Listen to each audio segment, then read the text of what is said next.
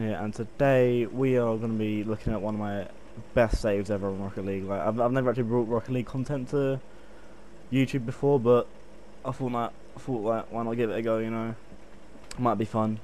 It's a cool idea. But yeah, today we're looking at like the best save I've ever done. Ten technically, this goal was supposed to go in. I don't know how I saved it. Honestly, I think I was just lucky. To be honest, like it should have gone in from where from the way I see it. But I'll, I'll just let you guys have a look at yourself and just let you judge on it. So yeah, hope you guys enjoy.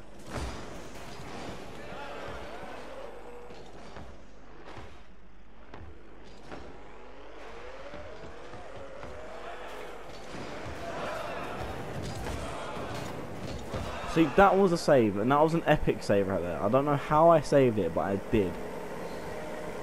Like, personally, I wasn't supposed to save that. There was no way that I was able to get to that if I was somewhere else, but somehow I managed to save it, so yeah. But I, ho I hope you guys did enjoy this uh, little clip I've made. But, yeah.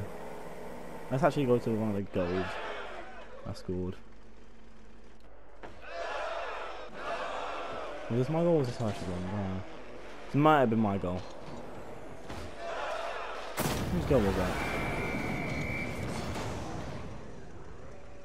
I don't even know.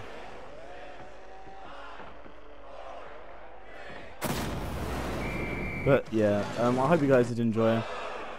If you did, leave a like, subscribe, and comment down below if you actually want more of this because I actually did thoroughly enjoy this. To be fair, I find it quite interesting for doing Rocket League yeah, if you did, if you guys did enjoy, then leave a like, subscribe, and yeah, just leave a comment down below if you want more of this, and then I'll bring it to you guys. See you later.